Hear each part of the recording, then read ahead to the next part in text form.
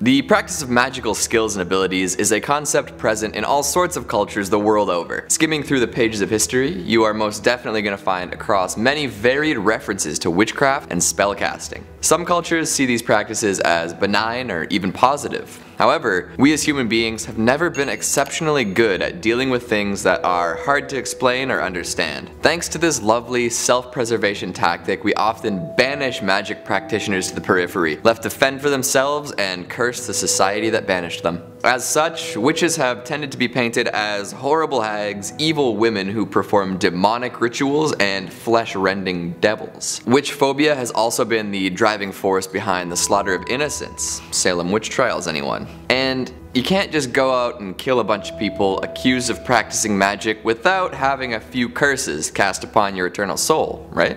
Hello horror heads and welcome back to the scariest channel on YouTube, Top 5 Scary Videos. I'm your horror host, Keegan Hughes, and today we're going to be counting down the top 5 scary witches in horror movies. Before we get started, make sure to give us a big thumbs up down below and subscribe for some more witchy videos. Let's get started. Starting off our list at number 5, we've got The Witch in the Woods from The Witch. While they may seem like a relatively small threat today, witches were extremely scary to the God-fearing population back in the olden days. We find out exactly why in Robert Eggers' directorial debut detailing a New England folktale. The Puritan family is banished from their colony over a religious argument and is left to fend for themselves in the forests beyond. Here, they are tormented by a witch who calls these very woods her home. If the events in this movie are based on accounts of witchery from way back in the 1630s, I can totally understand why people were so up in arms about spellcasting. This witch steals an unbaptized baby, grinds it up, and rubs the ground baby meat all over her body. She curses the family's crops, which cause them to infight and blame each other for some of the magical acts.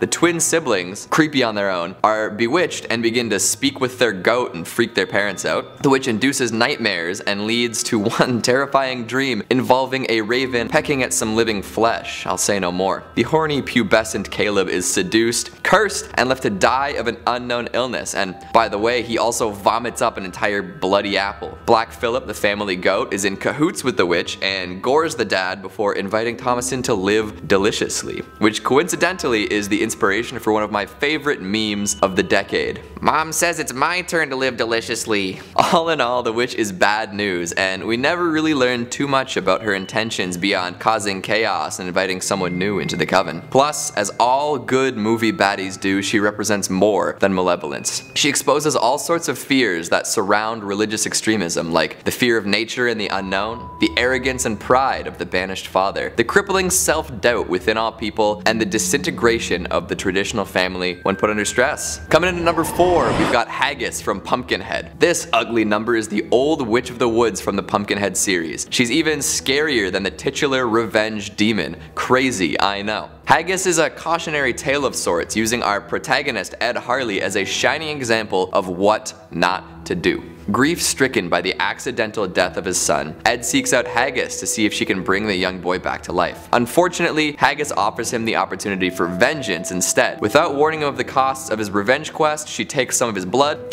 cuts it out of his hand, along with some of his son's blood, and then begins a ritual to bring Pumpkinhead back to life. Never a good idea to make a demonic blood pact with a witch. I'm, I'm just putting that out there. The revenge journey surprisingly doesn't make Ed feel any better, and he realizes probably wasn't the right call. In the end, he dies trying to stop the monster, and Haggis takes his body, buries it in Pumpkinhead's grave. Yikes. Become a demon in his own right. Haggis is then free to continue on as she was before, casting spells and waiting for her next victim to approach with an unnatural request. This leaves us with some lessons though, right? So listen up. Revenge is a never-ending cycle, deals with the devil always have hidden clauses, and don't trust a witch named after sheep's stomach. Coming in at number 3 we've got Asa Vajda from Black Sunday. So Black Sunday is this Italian horror movie from the 60s that was actually banned from the UK until 1968 due to graphic content. These Giallo directors love to make wicked movies about witches. It was actually so brutal that western audiences only got to see censored versions in theaters. Still holds up today.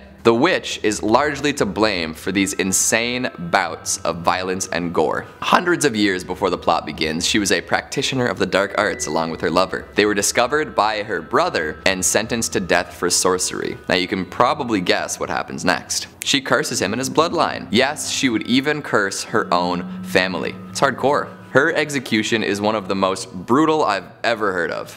You ready? Okay. So they take a metal mask with spikes on the inside and they hammer it into her face. And there are two extra long spikes just for her eyes. It's like an Iron Maiden, but just made for your dome. Holy crap.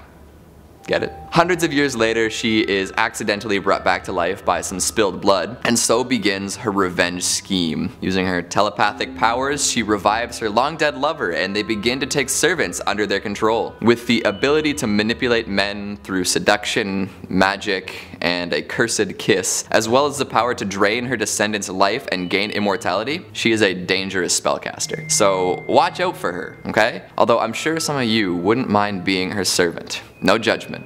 Taking up our number two spot, we've got Mother Suspiriorum from Suspiria, 2018. No hate to Helena Markos, alright? She's a hugely horrifying witch in her own right. And in fact, if we were just to ignore the 2018 version and only analyze the original Argento edition, Markos would have definitely made the list for sure. A rapidly deteriorating, power-hungry horror with a really great reveal is always a welcome addition to my spooky Rolodex. However, Mother Suspiriorum has to take the cake. Revealed in her true form at the end of the remake, Suspiriorum is the catalyst for one of the craziest scenes I've seen in years. The disemboweling of young dancers, exploding heads of false prophet worshippers, and the frantic, shivering dancing. All incredible and deeply disquieting stuff. Plus, the surprise reveal of who Suspiriorum's incarnate really is is a great twist, and being able to summon death incarnate is a sweet piece of magic. What makes Suspiriorum even scarier though is her backstory. What is Mother Suspiriorum? Well, she is actually one of the three mothers watching over the Markos dance company. The other two being Mother Tenebrarum and Mother Lacrimarum. Representing darkness, tears, and sighs, the three mothers are integrated into Dario Argento's Three Mothers trilogy. The Italian Giallo master imbued his movies with some incredibly deep lore. The original Suspiria was actually the first of three in this trilogy, with the other two movies being Inferno and The Mother of Tears. They were based on an essay called Levana and Our Ladies of Sorrow by Thomas de Quincey. De Quincey wrote, I want a term expressing all the mighty abstractions that incarnate themselves in all individual sufferings of man's heart. And I wish to have these abstractions presented as impersonations, that is, as clothed with human attributes of life and the functions pointing to flesh. Let us call them, therefore, Our Ladies of Sorrow. The three mothers are the incarnation of human suffering. Suspiriorum is elaborated upon and imbued with perishing dreams and delirium. Argento takes this idea and makes Suspiriora the power that lies in suffering, the agony used to develop intellect and spirit, conceptions of the infinite that are only accessible through pain and sorrow. So Mother Suspiriorum is the embodiment of suffering for growth, agony in exchange for greatness. Not everyone can handle that trade-off, and the weakest are culled.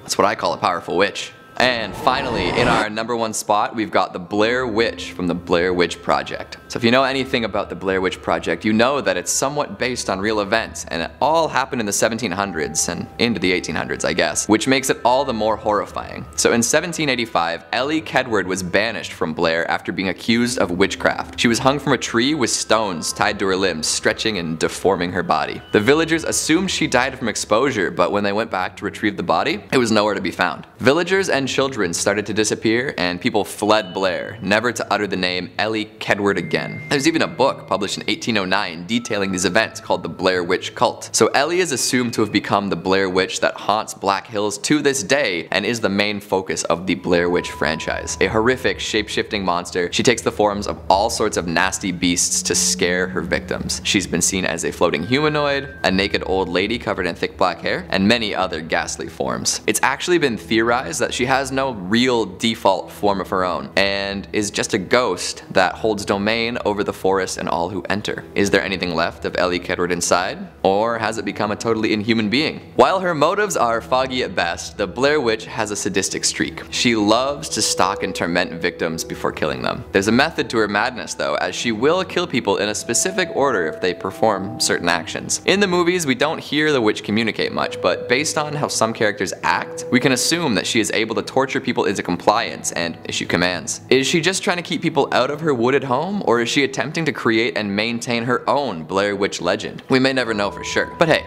you guys are brave, right? Somebody want to go and ask her what she's up to and let me know? And that's it. Five of the scariest movie witches I could find. What do you think? Please don't snitch, okay? I can't have these witches finding out that I'm dragging them online. If you think the coven needs a few more members, let me know down in the comments. Speaking of comments, let's take a look at some from last time. Anardana Lazarus says, You're not Canadian. You haven't said buddy, nor friend, nor guy. Let me, I'm gonna do my best. Listen here, buddy. You want my friend? You hear that, guy? I don't have the flapping mouth, I'm sorry. Moon Knight 8 says, the poor horse deserves a name. How would you name him, Keegan? I'd probably name him something weird like the rest of those Kentucky Derby horses, you know, something like Peanut Butter Sandwich or Old Coffee the Third. Or maybe I'll go Norse and name it Sleipnir. Hmm. Joseph Mays says, this channel is going to hell. Well, Joseph, considering the spooky theme of this channel, I'd be mad if we weren't. Can't have top 5 scary videos full of sunshine and lollipops, can we? Bring on the 9 circles. Multipayer says, I'm never going outside. Same. D Sauce says, last thing dinosaurs saw before extinction, a meteorite. Last thing humans saw before extinction, a horse. See, that's exactly where my brain went when I found out about 2872. I like the way you think, D Sauce. That's that. We're done. Thanks for watching. I'll see you next time. Today, witches were extremely scary back, mm -mm -mm. The horny prepubescent Caleb, I guess he's pubescent. The horny pubescent Caleb, I kinda already covered that, eh? Boy, I'm, uh, I'm far ahead of myself here. I'm making my own jokes like 10 lines earlier. Unbelievable. Asa Vajda. Vida Vajda. Oh no. Is it Vida or Vajda? what is this? One sec. I'm gonna do a cursory Google search. Markos would probably have made the list for sure. Shouldn't say probably. Markos would have definitely made the list for sure. I don't like how I said that. That sounded like I was just vomiting Alphaghetti. Mother Tenebrarum, Ten Tenebrarum, Tenebrarum, and Mother La, La uh, I thought I had these two. I, I, these ones are ones I cracked. Why can't I say this? So this Italian giallo director, master, ay ay ay ay ay, well, her motto, her motty, yes. Well, her mom, well, her mom.